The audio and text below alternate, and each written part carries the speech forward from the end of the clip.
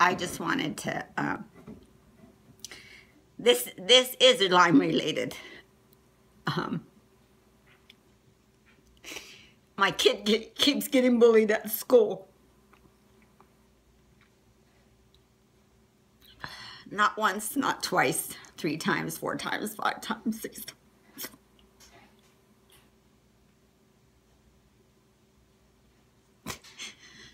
Too many times is bad enough that she's got to deal with these viruses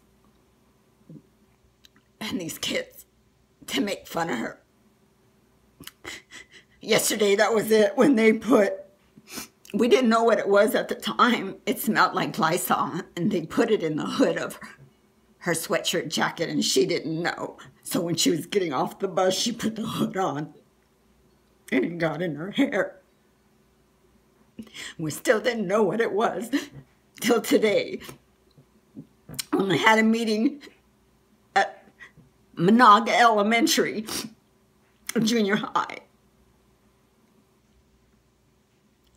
I don't know what discipline the girls got, but I've had it one too many times. Stop bullying my child because all she knows how to do is reply with love. She doesn't have eight and she doesn't fight back. She fights back with the love of Christ. Please uh, stop bullying her. I beg you. It's bad enough with the disease. Please pray for her. Don't pick on her. Thank you. God bless you.